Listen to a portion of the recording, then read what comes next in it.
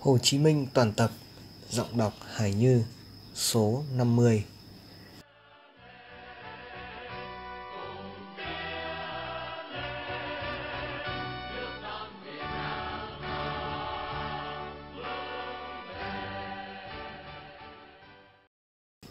Trang 108 Hô hào nhân dân chống nạn đói. Vì chính sách độc ác của bọn thực dân Pháp như ép thu thóc, bắt trồng đay mà trong mấy tháng đầu năm nay hơn 2 triệu đồng bào Bắc Bộ đã chết đói. Kế đó lại bị lụt, bị hạn. Lại vì bọn thực dân Pháp gây việc chiến tranh ở Nam Bộ làm cho việc đem gạo từ Nam ra Bắc khó khăn. Nạn đói kém nguy hiểm hơn nạn chiến tranh. Ví dụ, trong 6 năm chiến tranh, nước Pháp chỉ chết 1 triệu người, nước Đức chỉ chết chừng 3 triệu. Thế mà nạn đói nửa năm ở Bắc Bộ, ta đã chết hơn 2 triệu người. Một kỳ nữa thế nào chúng ta cũng không thể để đồng bào ta chết đói mãi. Khi có chiến tranh thì phải huy động và tổ chức tất cả lực lượng trong nước để chống giặc.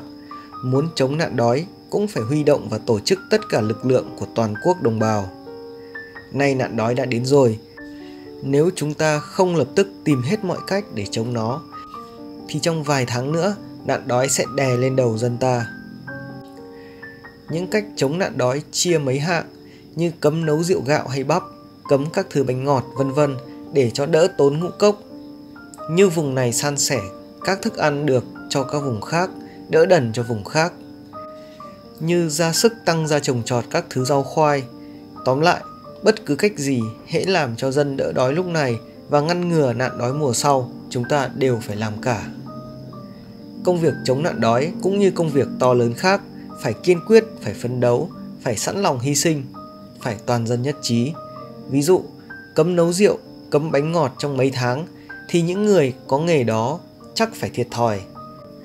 Nhưng các đồng bào đó cũng sẵn lòng hy sinh lợi ích của mình ít lâu để cứu cho đồng bào khác khỏi nạn chết đói. Chắc không ai thấy đồng bào chết đói mà nỡ lòng no ấm một mình. Cuộc chống nạn đói cũng như các cuộc chống ngoại xâm, ta nhất định thành công, vì đồng bào ta ai cũng sẵn lòng hăng hái nhưng các bạn phụ trách các địa phương phải biết cách tuyên truyền, biết cách giải thích, cho ai nấy đều hiểu rõ, đều thực hành. Các bạn phải có sáng kiến để tìm ra cách làm việc mà không mất lòng dân.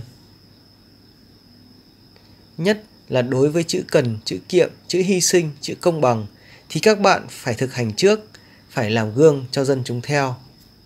Hồ Chí Minh, Báo Cứu Quốc số 86 ngày 8 tháng 11 năm 1945. Win Win Việt Nam trân trọng cảm ơn quý vị và các bạn đã quan tâm theo dõi. Xin kính chào và hẹn gặp lại.